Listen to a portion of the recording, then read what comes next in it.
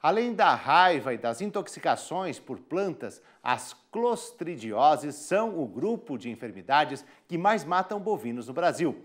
A sala de aula de hoje sobre sanidade animal vai explicar melhor sobre essas doenças.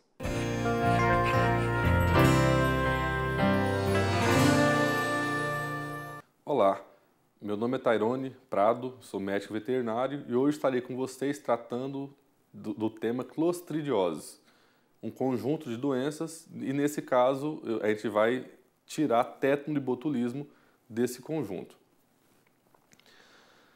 É, a, o gênero Clostridiose são mais de 100 espécies conhecidas de bactéria, todos do gênero Clostridium, das quais 7 a 8 de interesse veterinário, todas causadoras de doenças graves, que geralmente culminam com a morte do animal. Dentro desse conjunto, são várias doenças, é, eu tenho o carbúnculo sintomático ou manqueira, edema maligno, gangrena gasosa, hemoglobinúria bacilar, hepatite necrótica infecciosa, enterotoxemia e botulismo e tétano. Na aula de hoje, a gente não vai tratar do botulismo e tétano, que requerem uma atenção especial até pela frequência que a gente encontra essa doença a campo, e vamos tratar das demais seis doenças iniciais. Então, começando com o carbúnculo sintomático, quais são os nomes que a gente encontra dele a campo? Manqueira, maldiano, black leg, que seria perna preta do animal. Então, é, por que, que chama maldiano? Porque é comum você desmamar o animal e após a desmama, aquele estresse da desmama, da, do afastamento da mãe, eu ter uma baixa de imunidade. Baixando a imunidade, aumenta a chance de ter doenças. E uma delas, oportunista, é a, o carbono sintomático. Também é conhecido como maldiano ou manqueira. A bactéria causadora da doença é o Clostridium chalvei, é uma, um subtipo, uma espécie de Clostridium que está amplamente disseminado no solo. Acomete ovinos, bovinos e suínos, principalmente animais jovens, como eu já comentei, após a desmama. É uma doença com alta mortalidade, o animal que adquire a doença, geralmente o prognóstico é negativo, é, é ruim, o animal encaminha para a morte, e a infecção se, se dá via oral ou por lesões, pele lesionada, cirurgia, é, em local contaminado. E ela causa gangrena. A gangrena é o apodrecimento de qualquer tecido do corpo do animal. E nesse caso, principalmente a parte muscular. Então, quais são os sintomas? O primeiro sintoma do, do carbono sintomático é o inchaço local. Vocês vão observar nas próximas duas a três doenças que a gente vai tratar que há alguns sintomas que são muito parecidos, mas existe um diferencial, que a gente deve tentar esse diferencial. Então, esse inchaço local é comum a várias doenças, principalmente do gênero Clostridium. O animal claudica, que é o animal pisar e mancar, porque eu estou com a lesão, estou com a dor local, esse animal vai mancar. E quando eu, eu, eu corto essa lesão, eu tenho um, um, líquido, um exudato de cor escura. E esse é o diferencial de carbúnculo sintomático. Comparado com as duas próximas doenças que a gente vai, vai observar, a cor desse líquido que sai me diz qual das três doenças estou tratando.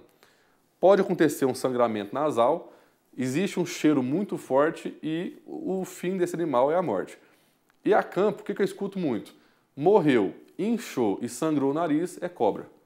Eu fico pensando o tanto de cobra que tem no Brasil para matar esse tanto de vaca todo ano. Então, na verdade, na maioria das vezes não foi nenhuma morte por acidente ofídico, cobra. Geralmente são mortes por clostridiose ou pela ausência da vacinação, da prevenção, ou por uma alta incidência local, por um surto da doença. Então, nessa primeira imagem eu posso observar que eu tenho a musculatura de, cor rosada, normal, e algumas manchas negras, indicando a gangrena, que seria o apodrecimento dessa parte muscular. E na segunda imagem, nesse local desse inchaço, eu estou ali é, extraindo o líquido, um exudato, e ele tem uma cor escura. E o odor bastante fétido de carne podre. Então isso nos leva a fechar um diagnóstico carbônico sintomático. Claro que a gente tem que coletar esse material, mandar para o laboratório com um médico veterinário que ele vai conseguir fazer um diagnóstico preciso. Mas são os sintomas iniciais. A segunda doença é o edema maligno. Similar ao, ao carbúnculo é, sintomático, eu tenho esse inchaço local, como a gente pode observar nessa imagem. Aqui nesse caso é uma ovelha e ele demonstra a perna do animal inchada. É causada pela bactéria Clostridium séptico, é uma outra espécie dentro do mesmo gênero, e também causa gangrena. Quais são as portas de entrada? feridas contaminadas, a via oral e inclusive o pós-parto. Aquela lesão natural do parto que o animal tem, ali pode ser sim uma contaminação, principalmente em ambientes muito sujos, muito contaminados. Quais são os sintomas? Febre, anorexia, o animal deixar de, de se alimentar, apatia, o animal ficar triste, ficar ali quietinho, cabeça baixa, orelha baixa, o inchaço local, presença de ferimentos, ou seja, eu observo o ferimento e observo um, um, sintoma posterior, já me ajuda a fechar esse diagnóstico. Um exudato, nesse caso, de cor clara, o líquido, em vez de ter a cor escura, igual no carbono sintomático, observa na primeira imagem que eu tenho um líquido de cor clara. Isso leva a uma infecção na, na parte musculatura, da musculatura, ela se dissemina pelo corpo do animal inteiro e leva a uma septicemia, que é uma infecção generalizada. E isso culmina em morte. Na segunda imagem, a gente pode observar que, em vez de ter a coloração escura do carbono sintomático, o músculo fica com a coloração clara e brilhoso, um líquido é, amarelado escorrendo desse músculo. Gangrena gasosa. Fechando o conjunto das três doenças com sintoma muito parecido, ela é causada pela bactéria Clostridium perfringens, que antigamente chamava. É, aliás, Clostridium perfringens, que também é conhecido como Clostridium sordelli e novi. São três sub, três espécies que causam a mesma doença. E a contaminação se dá via terra ou fezes em feridas abertas. E a evolução da doença é sempre rápida. O animal contamina e rapidamente demonstra os sintomas e culmina com a morte. Na maioria das vezes, a gente não consegue recuperar o animal que já está com essa lesão. Quais são os sintomas? O inchaço local, a gangrena, só que nesse caso ocorre a produção de gás. No carbúnculo sintomático, um líquido de cor escura. No, na, no edema maligno, um líquido de cor amarela. E nesse caso, predominantemente, a produção de gases, na gangrena gasosa. Levam a septicemia e culminam também com a morte. Então, como um diagnóstico, pode observar que a pessoa está ali pressionando o local da lesão e fica ali marcado a posição da mão dessa pessoa. E quando eu aperto, fica um, um barulho chiado, similar a um, a um, a um, a um, a um, um borbulhamento de água, em, de, de, gás em água. Fica aquele, aquele chiadinho comum dessa, dessa lesão. A campo, acaba que o pessoal chama tudo de manqueira, só que são três doenças com sintomas muito similares. Hemoglobinúria bacilar. Ela é causada pelo Clostridium novi do subtipo D. Ela ataca, ataca preferencialmente fígado e produz a hemólise, ou seja, a quebra do sangue. Quebrando o sangue, eu vou liberar a hemoglobina, que é o pigmento presente dentro das hemácias, que são as células sanguíneas.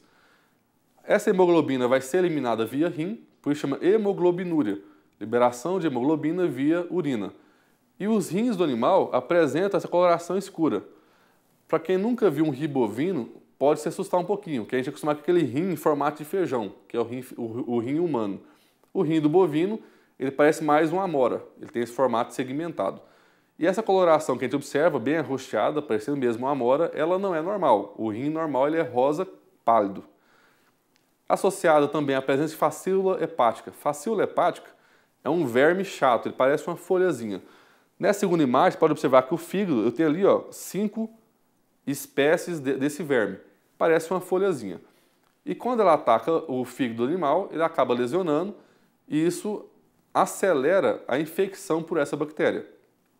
E é muito comum em regiões alagadiças, região de brejo, região que chove muito. Por quê? Nesse microclima eu tenho o crescimento natural dessa, de, de, é, desse verme.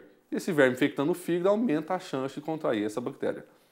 E a morte, ela se dá de forma muito rápida. Muitas vezes você nem vê o sintoma. Nossa, esse animal entristeceu, amanhã amanhece morto. Então, de um a três dias após o início da doença, da hemoglobinura bacilar, esse animal já está morto. Porque atinge dois órgãos muito vitais ao, ao corpo, corpo do animal, que é o rim e o fígado. Quais são os sintomas? O animal fica depressivo, até pelo sintoma de dor, anorexia, para de comer, emagrecimento rápido, febre, esse dorso arqueado, como a gente observa nessa foto inferior, esse andar com dorso arqueado indica o sinal de dor, que é a cifose. O animal em posição de cifose, arqueado, demonstra dor. Diarreia sanguinolenta, porque a hemoglobina também vai se perder via intestinal e a perda de sangue traz essa coloração é, escura para as fezes. É, hemoglobinúria, a liberação, como eu comentei, da hemoglobina na urina, anemia por, pela perda sanguínea desse animal e culmina com a morte. Na imagem superior, o animal já morto, no necrópsia, a gente coletando o líquido de dentro da bexiga. E ali você observa a cor escura, a urina com a presença de pigmentos sanguíneos. Hepatite necrótica infecciosa, que seria a nossa quinta doença dentro dessa aula. Ela é causada pelo Clostridium novi tipo B, é uma, uma espécie do gênero Clostridium, e uma sinonímia que a gente conhece da doença se chama doença negra. Vocês vão observar mais para frente pelos sintomas que ela demonstra. A contaminação se dá via oral e também por esporos endógenos. O esporo é uma forma de resistência da bactéria no ambiente. Ela esporula, ela fica ali em latência e o animal é, é, se alimenta, adquire esses esporos, ele, ele atravessa algumas barreiras, as mucosas intestinais, e com isso fica latente no seu corpo. Em um momento de queda de imunidade, essa bactéria se desenvolve e ela volta a se tornar patogênica. E ela também é associada à facíola, ou qualquer outro parasita que seja migrante. Então, nessa imagem, vocês observam no fígado, um corte do fígado, uma facíola na setinha vermelha saindo de dentro desse fígado. Então, com essa lesão, acaba que acelera o quadro da hepatite necrótica infecciosa. Então, a lesão, o principal sintoma é uma lesão no fígado. E por que, que ela chama de, é conhecida como doença negra? Porque quando você faz a necrópsia do animal que morreu, abaixo da pele, na, na, na, na parte mucosa, é, subcutânea da pele ou na própria musculatura, a gente observa essas manchas negras. Então, o que eu tenho é a musculatura normal, rosada, e ali eu tenho algumas manchas negras na musculatura. O que, inclusive, pode ser confundido com carbúnculo sintomático, essas manchas negras. Então, tem que fazer um exame laboratorial para fazer o diagnóstico diferencial. E a morte, inclusive, pode ocorrer sem sintomas o que é mais complexo. É, como médico veterinário, eu não indico que, por curiosidade, o produtor rural abra esse animal. Ah, eu não sei por que, que morreu, eu vou abrir. Se você não tem o conhecimento técnico, para que se arriscar tentar fazer um diagnóstico que vai ser impreciso e às vezes não vai trazer nenhum benefício? Pelo contrário, vai disseminar a doença no ambiente, inclusive pode, em alguns casos, tra transmitir a doença para o ser humano. Então a gente tem que evitar manipular uma carcaça do animal quando não se tem o conhecimento necessário. Enterotoxemia. Ela é causada pelas bactérias do gênero Clostridium também, da espécie Perfringens, do tipo B, C e D.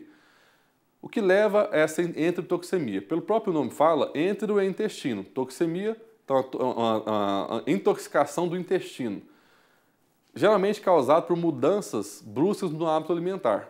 Então, hoje a gente trabalha, principalmente em confinamentos ou em animais de alta produção, com um teor de energia de grão muito maior do que o que naturalmente o animal come no dia a dia, que é o pasto, é um, é um volumoso. Então a mudança de alimentação, o animal sai do pasto, vai para o confinamento, sem uma prévia adaptação, pode aumentar a chance de ter enterotoxemia.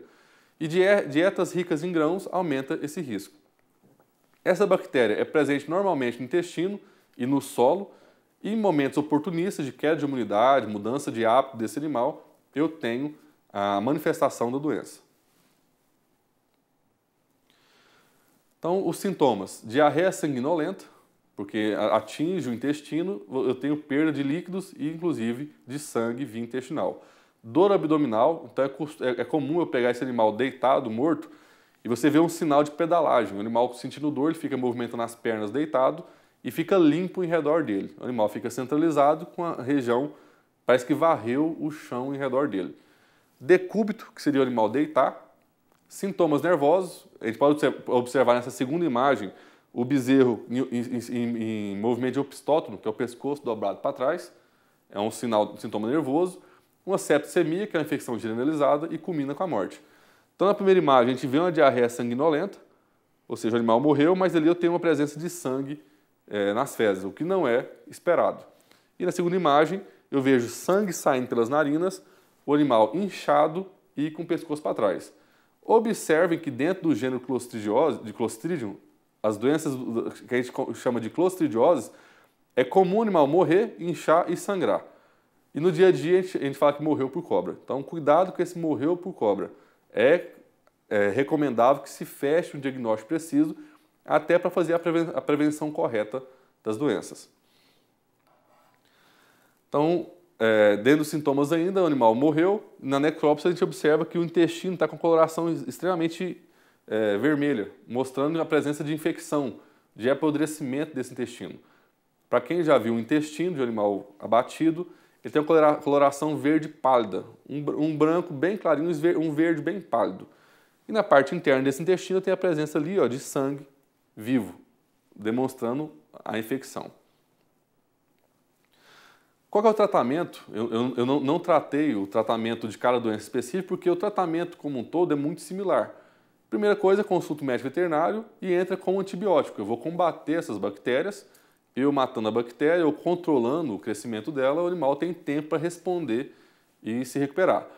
Mas nas clostridioses em geral, o tempo é nosso inimigo, porque as mortes são muito rápidas, a evolução da doença é muito rápida. Associado a antibiótico, a gente usa um anti-inflamatório para reduzir o inchaço, reduzir o edema local. Usa-se os soros específicos. A vacina é preventiva, o soro é o remédio, ele está pronto já. Então, quando você, você é, é, é, mordido por uma cobra, você não toma vacina, você toma um soro, porque não dá tempo do seu organismo reagir contra uma vacina. Então, a vacina é preventiva, o soro é para remediar. Nesse caso, a gente usa soro. De uma fluidoterapia, como vocês podem observar nessa imagem, eu tenho um animal a campo doente e ali eu tenho um soro sendo administrado via endovenosa. Hidratar o animal ajuda a mantê-lo é, resistente às doenças. Ele consegue combater as doenças e medicamentos suportes. Aí pode, eh, pode se utilizar um, um fortificante, uma vitamina, de acordo com a recomendação do médico veterinário. Preventivamente, a gente deve usar vacina. Então a vacina hoje, a gente trabalha com vacinas polivalentes que pegam todas as clostridioses, todas as seis que a gente comentou até agora, e ainda tétano e botulismo, que também fazem parte desse grupo, mas que não foi tratado nessa aula. É uma vacina barata, geralmente a dose custa menos do que um real e muitas vezes o produtor acaba não fazendo, ou por falta de conhecimento técnico, ou por falta de, de, de manejo mesmo. Mamar o colostro, o bezerro que mama o colostro, ele tem uma, uma resistência natural que é adquirida da mãe, e se a mãe for vacinada, ele vai estar adquirindo esses, esses anticorpos via alimentação.